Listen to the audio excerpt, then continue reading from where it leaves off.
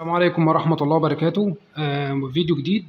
آه، معانا مشكلة في جهاز آه، ديل أو HP أو أي جهاز.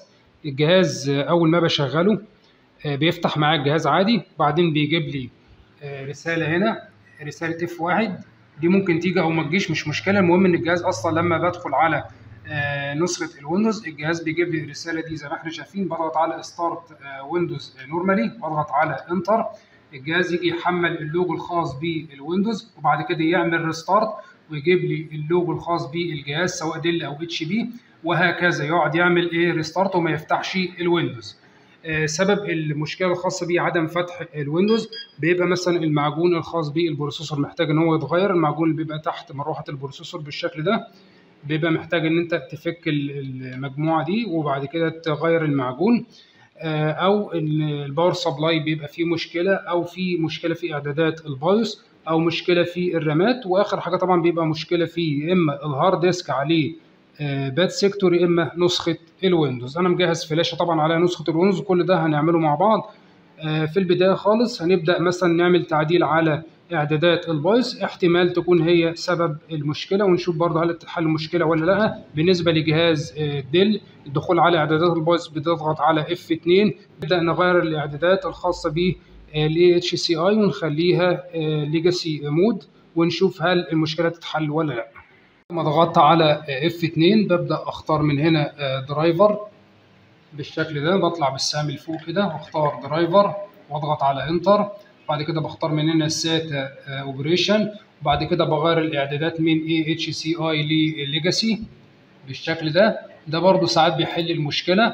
وبعد كده بضغط على yes تمام. وبعد كده بقفل قائمة ال setup اضغط على exit ويبدأ إن هو يقول لي هل تريد حفظ التغييرات. هضغط على yes بعد كده هيبدأ يقفل الجهاز ويشتغل تاني. ال restart هضغط على start Windows normally واضغط على enter هيبدأ يفتح معايا الويندوز هنشوف هل هيفتح معايا ولا لأ. نفس النظام برضو عامل restart وما فتحش معايا بالشكل ده. هنبدأ نغير الاعدادات ونخليها AHCI زي ما كانت. لأن احتمال الويندوز يكون نزل كان نازل أصلا على AHCI فطبعا لو المشكلة دي ما اتحلتش برجع الاعدادات زي ما كانت تاني عن طريق أضغط على drives و SATA operation بعد كده بختار من هنا AHCI واضغط على yes بالشكل ده. واقفل الإيه؟ واضغط على apply من هنا. تمام؟ واقفل قائمة ال setup بالشكل ده.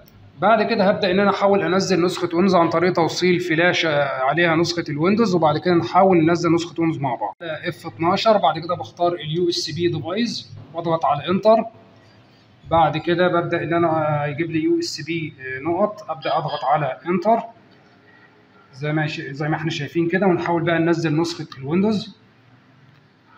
بمجرد ما فلاشة الويندوز بتحمل معاه بالشكل ده وقبل ما يدخل على الإعدادات الخاصة بتثبيت الويندوز بيجيب لي الشاشة دي بالشكل ده إن في مشكلة وإن هو مش عايز ينزل معايا نسخة ويندوز.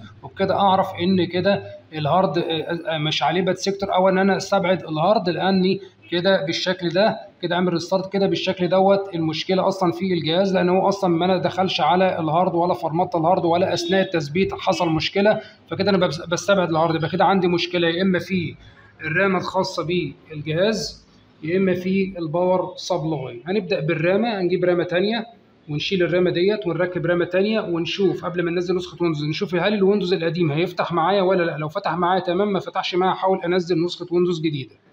شايفين كده فصلت الرامة القديمة وركبت الرامة الجديدة في أول bank RAM بالشكل ده اللي واخد اللون الأبيض جنب ال processor.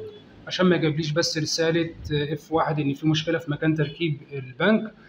تمام. بعد كده هبدأ إن أنا أشغل الجهاز. زي ما إحنا شايفين كده بدأ الجهاز يشتغل معاه. هبدأ أختار start Windows normally وأضغط على enter لو الجهاز فتح معايا نسخة الويندوز من غير أي مشاكل يبقى كده المشكلة في الرامات لو ما فتحش معايا يبقى كده احتمال كبير يكون في مشكلة في ال power supply فأبدأ إن أنا أركب power supply تاني وأشوف هل المشكلة تتحل ولا لأ.